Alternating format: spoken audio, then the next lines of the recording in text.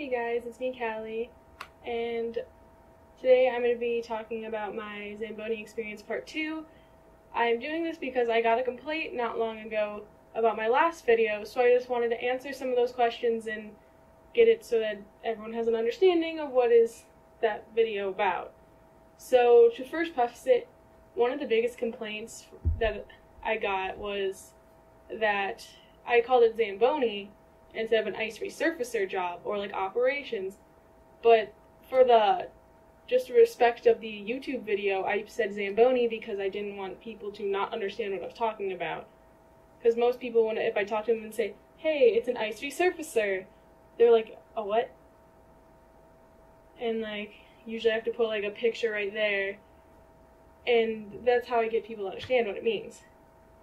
So I did not want to make it anyone upset about how I said that, but that's just how I did it, so that's what I said. I also want to say that I that's how what we call the job at work, we're just the ZAM driver, and I will say ZAM a lot rather than ice uh, operations or ice resurfacer. And so to get to my next point, I also if I'll link the other video down below so you can see it and understand what I was talking about in the next part, but so I when I was talking about when I started, we had two positions called cleaners and and like operations, but like you were still operations and cleaning. So was, what was it? It was all operations, but one was maintenance, while one was cleaning. So I got a complaint that it wasn't. I was calling it an internship, but what I meant was that it was just a program we had at the time that was taking high school students.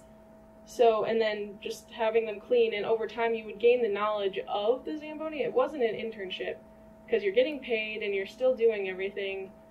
The only thing you're not doing is cleaning the ice or cutting the ice or however you want to say it.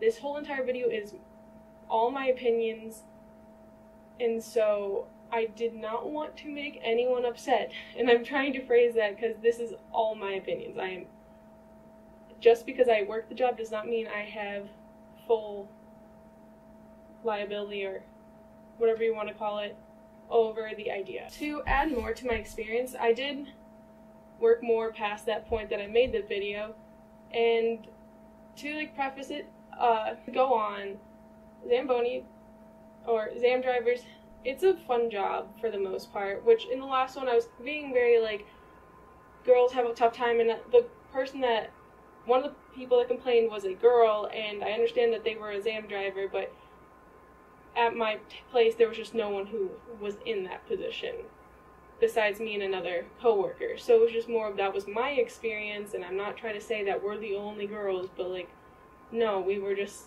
that was our experience. To continue, it Zamboni jobs are fun for when you're for the most part. I got to work an event where I got to pretty much meet some really big people like Olympians, past Olympians, NHL players, and that was just all from working there. And I value a lot of my time I had there. And I mean, if you really want to, go out and try to do it, but you just have to know that it's going to be hard and that there's a lot that behind it, and that and that a lot of people are going to always ask you about the Zamboni. Like they won't know what it is, or they'll ask for a ride, and you'll just be like, "Yay, funny! Heard that joke before," or that you'll get Deadpool jokes a lot, or any other joke that involves something with a Zamboni.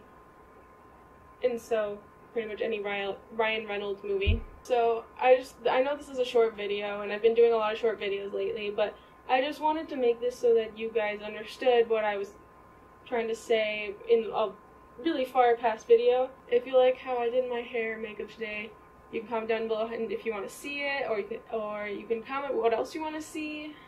Um, so I will see you guys next week. Comment, like, subscribe, and.